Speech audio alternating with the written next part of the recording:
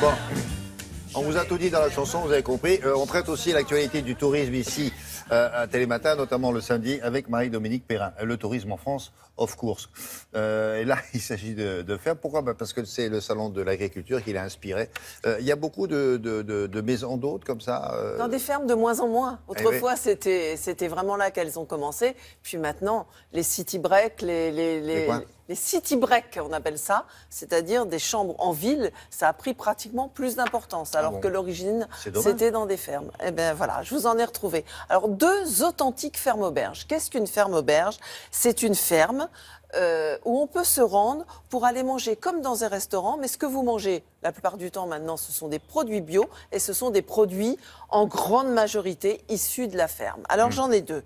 La première, elle est dans le Houdou, dans les montagnes du Jura, tout près de la Suisse. C'est un éleveur de vaches à lait qui fabrique aussi du comté, qui vous propose de résider dans une ferme fortifiée dont les origines remontent très très loin et vous assistez en prenant votre petit déjeuner à la traite des vaches qui vous fournissent le lait du petit déjeuner. Bon. Oui, vous allez voir, c'est grâce à une astuce. La deuxième adresse, Regarde, elle est aux une confins, une confins de- du Poitou et euh, de la Touraine. Hmm. C'est la dernière ferme auberge de la Vienne. Et là, c'est une dame, elle revenait tout juste du salon de l'agriculture parce qu'ils sont trois éleveurs en France de moutons de race Dorset et elle venait de présenter quelques-uns Ah de oui. ces beaux spécimens. Un Voilà. court sur pattes, oui. Voilà.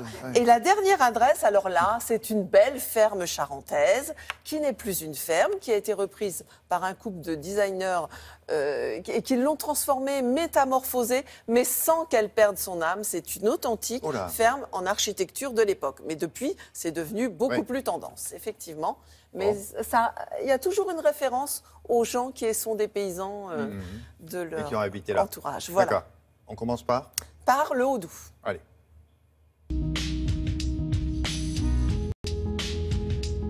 Nous sommes dans le Haut-Doubs. La ferme s'appelle les Louiseaux. Cette ferme, à l'origine, c'est qu'elle était anoblie en 1525 par Charles Quint. Ils ont eu un droit de, de noblesse, qui est le droit de frapper une monnaie. C'est pour ça que ça s'appelle les Louiseaux. Cette ferme a été un- vraiment un coup de cœur au niveau patrimoine. L'avantage aussi, c'est que je voulais vraiment une ferme isolée. À l'heure du petit déjeuner, le lait et le comté, directement du producteur au consommateur.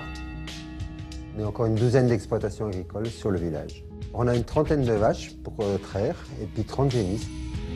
Pour le petit déjeuner, les gens peuvent euh, regarder les vaches sans avoir les inconvénients des odeurs ou du bruit. Disons que sur des petites exploitations, avec le cadre qu'on avait, nous avions intérêt de nous lancer dans les chambres d'hôtes. Ma première chambre est dédiée aux vaches Simmental et Montbéliard, qui sont les symboles du fromage comté. Et la deuxième chambre est dédiée au cheval comtois. Je voulais avoir des chambres authentiques, vraiment franc-comtois, avec les lits à les horloges comtoises, et tout en gardant quand même des couleurs modernes et des rideaux modernes. Aux confins de la Touraine et du Poitou, dans la Vienne, la propriétaire du manoir de la Blonnerie élève une race de moutons rare en France. Alors, je suis éleveuse de moutons Dorset Stone. C'est une race anglaise qui, que mon père a ramenée d'Angleterre euh, il y a 35 ans, 40 ans même, plus que ça. Il y en a très très peu en France puisque euh, moi je suis la présidente au niveau national et euh, nous sommes que trois éleveurs euh, en France. Mes parents ont acheté l'exploitation dans les années 70. Moi, j'ai fait des études agricoles dans le but de reprendre cette exploitation. Et puis, euh, j'ai développé après avec euh, de l'agrotourisme. Mon exploitation est en bio depuis euh, bientôt 5 ans. J'avais déjà envie de faire euh, la ferme auberge. J'utilise euh, mes produits à moi, donc essentiellement l'agneau, les légumes du potager et les fruits de mon verger. Les chambres sont venues un petit peu après avec, avec l'arrivée du Futuroscope en 86, qui effectivement a boosté un peu notre département. À deux pas de La Rochelle et de l'océan, une belle charentaise nous ouvre ses portes après un lifting particulièrement réussi. Cette maison s'appelle le carré 1705 parce que le bâtiment est installé euh, en carré et 1705 c'est l'année de construction de la maison.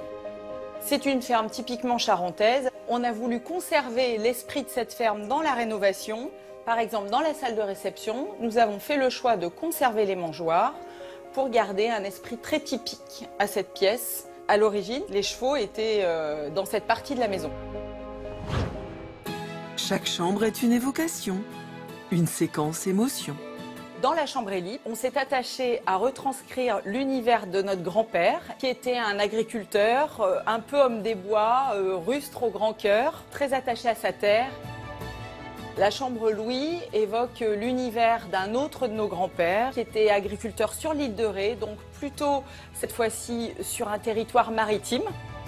On a dédié une chambre à l'ancienne propriétaire, Dany, avec une ambiance rose poudrée euh, qui évoque un petit peu la passion qu'elle avait pour les vieilles roses. Moi-même, je suis designer et je butine un petit peu de droite et de gauche des coups de cœur que je fais partager sur les murs dans la maison. Les pros de la déco. Hein, Ah euh, oui, ah et je, je tenais à dire Oui, mais qu'ils reversent 1% de leur chiffre d'affaires Oui. pour aider un petit garçon qui est atteint d'une maladie rare et qui a 3 ans. Donc vous Ouais. faites une bonne action en même temps si vous allez résider chez eux. Et on peut euh, loger à combien là, dans, dans cette euh, maison? Dans ces chambres, bah, c'est des chambres pour deux personnes, il y en a 5. Cinq Ah oui, c'est ça que je voulais Cinq savoir. chambres, Cinq multipli- chambres. voilà. D'accord. Merci beaucoup. Marie.